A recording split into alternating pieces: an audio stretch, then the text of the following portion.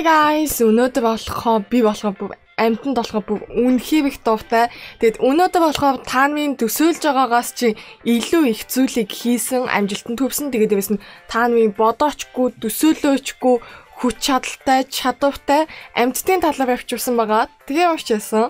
Бичлэгээ эхлүүлцгээе. Бичлэгээ эхлүүлэхээс өмнө энэ бичлэг дээр лайк дараад миний сувгийг дагаарай. Бас заавал хонхон дээр даваарай. Энэ сувган дээр анхаарах ёстой зүйл нь хүний нэг бөгөөд англи хэл нь бүгд солонгос дуудлагаар яригдаж байгаа учраас энүүн дээр бас анхаараарай.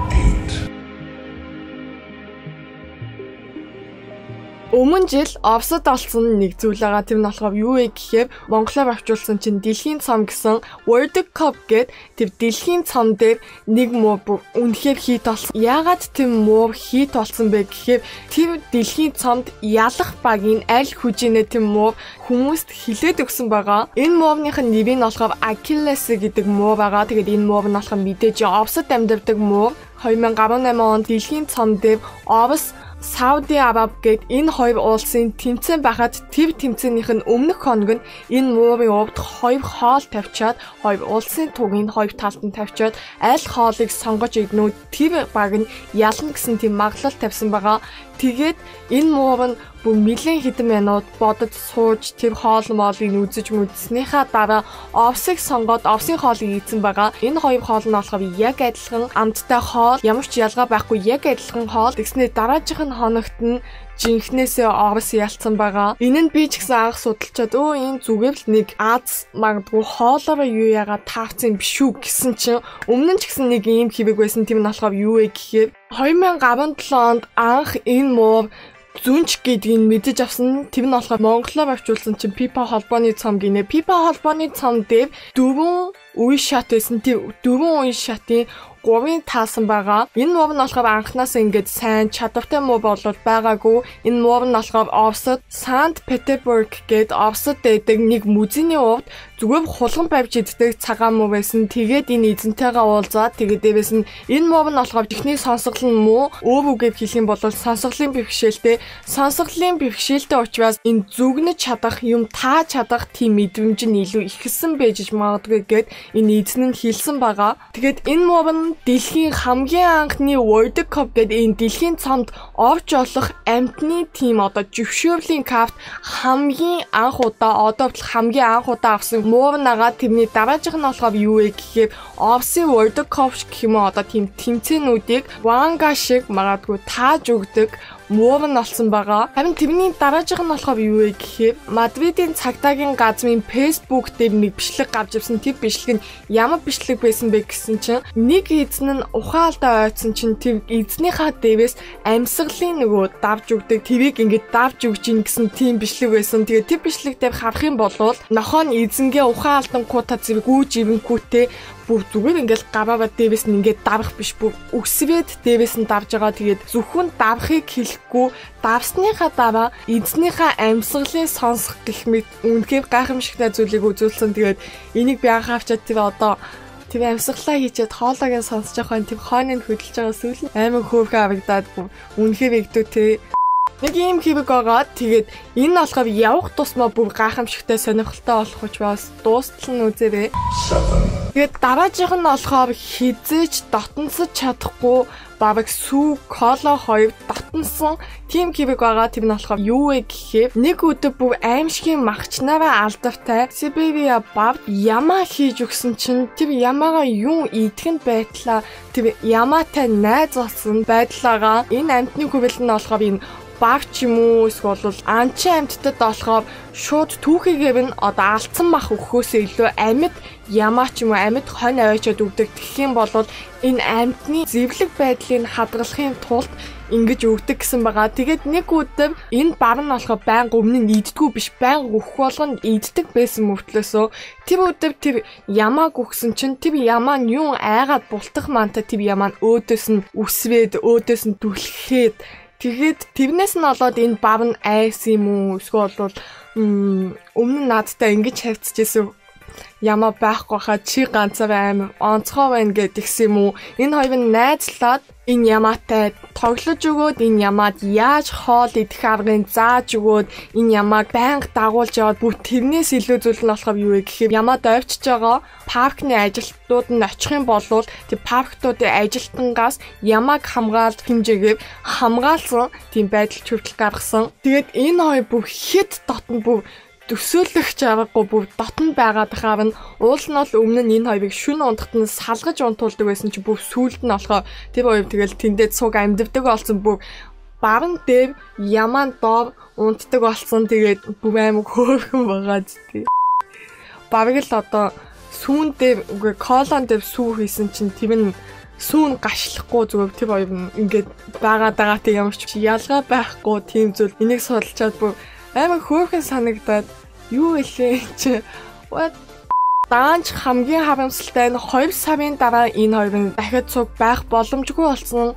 Яагаад гэвэл энэ бав нь энэ ямаага идсэн ч шиг тоглосон юм а. Энэ ямаа нь болохоор бүх хит энэ дотор жаргалтай байснаасаа болоод таргалаа зүгээр таргалах биш. Өөрийнхөө яс биендээ таарахгүй таргалаад бүр яах чавгүй салгахаас өв авга зам гараагүй. Тэгээд нь ямаа ч юм амьтдад гардаг хачигтай болцсон байж магадгүй учраас тиймэрхүү зүйлүүдийн цэвэрлээ тураахын тулд яах чавгүй салгасан. Тэгээд дахиж буцааж оруулна гэсэн боловч яг тэрийг хизээ гэдгээ хэлээгүй байгаа учраас эмихэд бол одоохондоо яг ямар шүү цаашдаа байдлаар явах нь мэддэхгүй байгаа.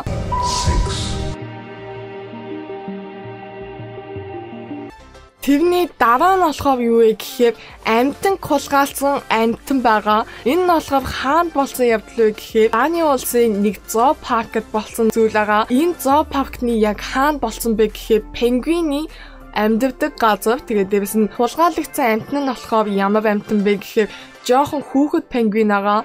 Харин хулгайлсан амтан нь болохоор би биендээ хит хайртай нэг хоёр хос пингвин ага энэ үйл явц нь болохоор 2018 оны 9 сард болсон.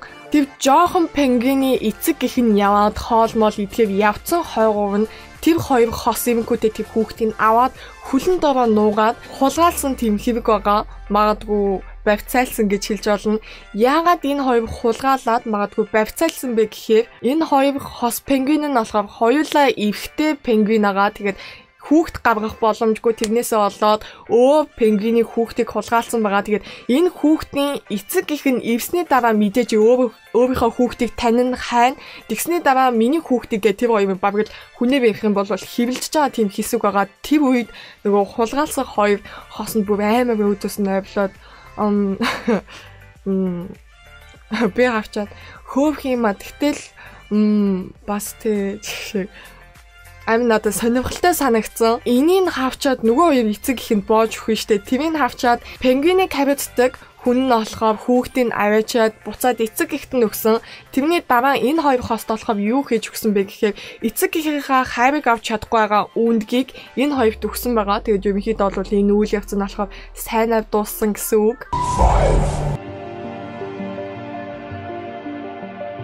Тэрний дараагийнх нь болохоор юу вэ гэхээр байнга өдөр болгон амандаа нэг уут зуучаад 6-аас 7 км-ийг байнга алхадаг нэг нохоо байгаа. Тэгээд энэ нохооны нэрийг болохоор Лилика гэдэг. Тэгээд энэ Лилика гэд энэ нохоо нь болохоор хогийн цэг дээр хаягдсан нохоо байсан. Энэ хогийн цэгийг хариуцдаг энэ хогийн цэгийн эзэн нь болохоор хаягдсан амтнч гэх юм уу үнчин амттыг авчираад хамгаалж өгдөг тийм сайхан сэтгэлтэй хүн байсан. Тэгэд энд болохоор муу дахиа нохоо гэл янз бүрийн амттад байгаа. Тэгэд энэ амттуудтай цуг өсөөд энд байсан чинь энэ Лилика гэд энэ нохоо нь болохоор 8 гүлэг гаргасан байгаа. Тэгэд энэ 8 гүлэг гаргаснаас болоод хит олон амттай байхад дахиад 8 гүлэг нэмэгдчихээд энэ хогийн цэгийн эзэн нь болохоор яг үндэ хизүү. Тэгээд нь боломжгүй байсан. Тэгээд тэрийн энэ Лиликан мэдсэн юм уу яасан өөрөө байнга хинч хилээгүй хинт зааж өгөөгүй хахад хогийн цэгээс хотхон хүртэл зай нь болохоор ерөнхийдөө бол 7 км байдаг. Тал нь 3.5-аас 4 км байдаг. Тэрийг байнга ингээ өдөр болгон тойвж очдөг байгаа. Тэгээд Лиликан өдөр яваад тэр хотхноор тойвж явхууд тэрийг мэддэг хүмүүсүүд нь үлдсэн хоолоо уутанд хийгээд боогоод өчтдөг байгаа. Тэр ууттай хоолыг амандаа аймав сайн зуугаад буцаад хогийн цэгдээ бай очдог. Тэгээд энэ хогийн цэгдээ бай очихдоо ганц өөрийнхөө хүүхдүүд өөрийгөө хооллох биш энд байгаа бүх дахиа муув нохоонуудад энэ хоолоо өгдөг байгаа. Ерөнхийдөө бол эхийн сэтгэл гэдэг нь болохоор хүндэж, араатанд ч, алинтан ч хамгийн том агуу хайр. Тэгээд энэ үйл явцыг 3 жилжингөө нэг ч өдөр дасвалтгүй байнга хийдэг байсан байгаа. Тэгээд энэ нь болохоо мэдээгээ гавцны дараа энэ хогийн цэг нь болохоо юмхийдээ бол өмнө байснаас илүү жоохон дампуурах маягийн хэмжээтэй байсан ч гэсэн олон хүмүүсүүд туслаад дэмцсэний дараагаа ерөнхий боломжтой хогийн цэг болцсны дараа энэ лилика нь болохоо буцаад тэгэж хоол авахын тулд явах өвдөөсөө хэрэггүй болсон нэг юм шүү хэрэг байгаа. Нэг амар сайхан сэтгэлтэй нэг нохоо байгаа. Дараагийнх нь болохоор Гиннесийн номд бичигдсэн нохоо байгаа. Энэ нохоо нь болохоор бол Монголоо булдог байлуу болдогч үлөө тэгэж дуудагддаг авсан үндсэн нохоо гэж ихэнх нь явдаг. Тэр нохоогоо энэ нохоо нь юугаар Гиннесийн номонд бичигдсэн бэ гэхээр та намын төсөөлснөөс илүү амар. Тэр нь болохоор юу вэ гэхээр одоо хүмүүс алцаагаа зогсоод ингээд гүг босгодсон штеп 30-аас 40 гаруй хүмүүс зогсож байгаад тэр доогуур нь скейтборд унаад тэрийг давсан нохоогоо Гиннесийн номонд бичигдсэн байгаа. Энэ нь болохоор хүний хийсэн хамгийн уртгүй бөгөөд тэр гүгийг давсан нохоо гэдэг тийм шүү сэдвээр. Хамгийн миний гайхсан нь болохоор одоо энэ бичлэгийг харах юм бол зүгээр ингээ скейтборд дээр ингээ зогсох биш нэг хөлөөвөө тэрийг хувцсгаж мовтгасгаа жоохон далиж мэлиж явж маад би энийг сувах гэж 2 жил жөнгөө сувч чадаагүй бах чам гой мо шиг тийм хэвэг байгаа. Гэхдээ энийг болохоор энэ нохоо анх удаа хийсэн биш. Өмнө нь тийм маань гээд яг адилхан булдог булдог булдог нохоо скейтборд унаад Гиннесийн номонд бичигдсэн ч гэсэн энийг давсан хэрэг хийсэн учраас тэр нохоо хасагдсан бай бай чиг шиг тэгээд энэ нохоо Гиннесийн номонд бичигдсэн байгаа. Тэгээд дээрэс нь Гиннесийн номонд бичигдээ дуусгүйгээр энэ нохоо нь болохоор Швейцарын нэг хувцсны брендийн рекламд гол дүрэв тоглоод Let's roll. Star for show. You know you are. Just hop in the ride and go far, far, far. Let's roll. Тэгээд дэвс нь тэрний дараа нь болохоор үнчин нохоодод мөнгө хандуулдаг бөгөөд дэвс нь халдварт туссан хүүхдүүдтэй зүг очиж уулздаг байгаа. Бараг л хүнээс дэв гэж хэлж болохоо амар мундаг мөртлөө мундаг авьяастай мөртлөөсөө сайхан сэтгэлтэй.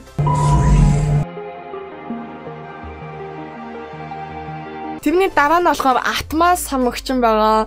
Энэ Атмас самгчин нь болохоор хаана байдаг вэ гэхээр Палли гэд уулсын Үлват гэд ингээд хад байдаг. Тэр хаданд Паллид очисон бүх хүмүүс очдог хамгийн алдартай бөгөөд хамгийн гоё харагддаг газар. Тэгтэл энд болохоор увцүүлтэй самгчин гэд энэ самгчдууд бүр үнэхээр энд бол хинч оволдож чадхааргүй атма самагчд байгаа. Энэ самагчд нь болохоор яадаг вэ гэхээр аяллаа бивсэн бүх хүмүүсүүдийн малгай шил бүх юмыг хулгайлаад тал талаас аваа явцдаг.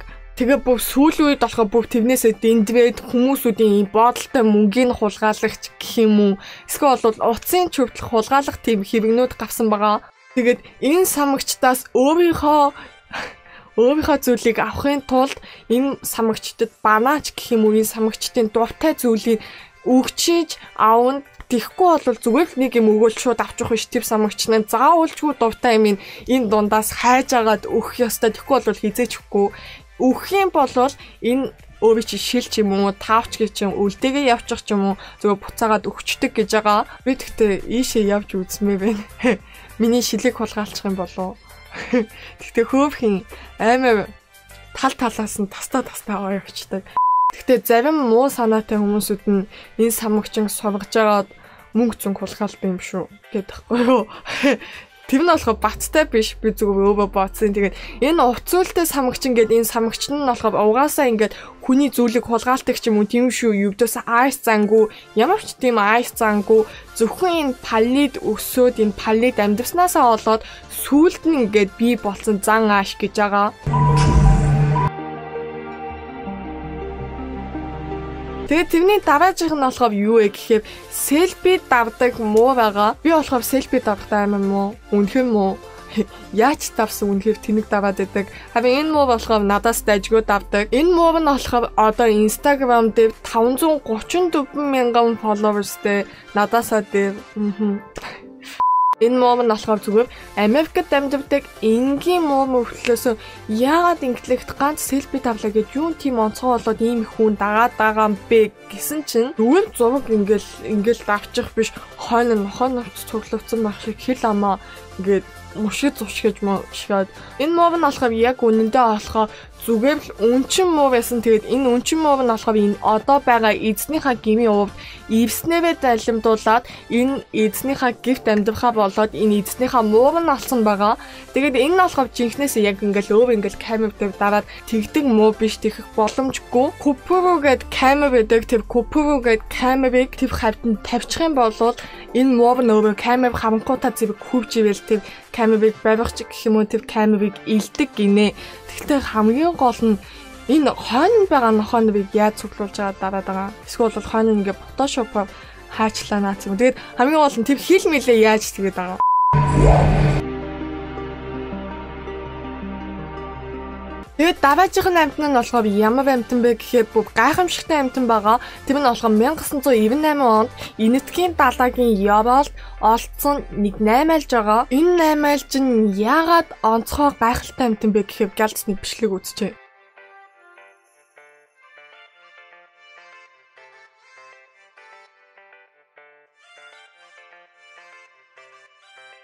Энэ 8 альж нь болохоор хамгийн уртдаа 60 см хүртэл одоо өсдөг гэх юм да ургадаг гэх юм да. Тэгээд биенд нь болохоор бов цагаан судалтай. Тэгээд энэ амтны онцгой зүйл нь болохоор юу вэ гэхээр яг тэр унсан газар ч юм уу байгаа газартайгаа адилхан өнгөтэй болохоос гадна яг адилхан мэдрэмжтэй гэх юм уу да. Одоо энд одоо юу яах юм бол яг энтэйгээ адилхан хатуу гэх юм одоо тийм юм шүү болж чаддаг. Одоо чулуунууд нь болохоор ийм өвгөстэй байх юм бол яг адилхан тийм дөө байгаад яг адилхан болж чаддаг. Тэгэл зүгээр ингээл өнгө өөрчлөлтөг байсан бол гайхалтай амтан гэхгүй юу нь гайхалтай вэ гэхээр тэр хавсан амтнаа яг адилхан бүх яг адилхан хэлбэртэй болж чаддаг бөгөөд тэр амтныхаа хөдөлгөөн тэр амтныхаа явж байгаа байдал тийм өвчүү зүйлүүдийн бүгднгийн дөөрэ чаддаг амтан. Би бүр анх хавчаад гайхаад яг одоо энэ гавж байгаа бичлэг байвал тэр бичлэгийг авч байгаа. Вау!